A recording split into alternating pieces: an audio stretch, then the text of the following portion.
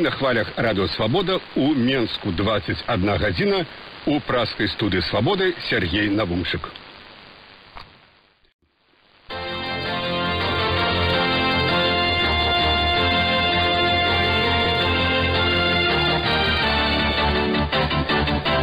у праской студыі свабоды Сергей Даумчук і зараз каротка пра тое што будзе гучаць у нашай праграме у беларусі працягваюцца акцыі пратэсту у гомле пасля затрымання памёр 25гадовы хлопец жаночыя ланцугі салідарнасці праходзяць у менску віцебску гомлі горадні і іншых гарадах беларусі кіраўнік участковай камісіі віцебску прызнаў што пасля перамогі ціхановскай камісію прымусілі перапісаць пратакол на карысць лукашэнкі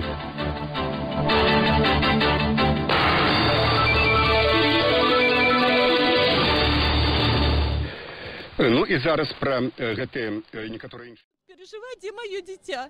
Ночами не спать. Разве можно так? И вот как тот человек, который там сидит, он себя что, Богом возомнил или что? Я вообще не понимаю, как можно так вот поступать с людьми. Ты же должен заступаться за свой народ, для народа. Жить нельзя. Нельзя не знать, куда везут.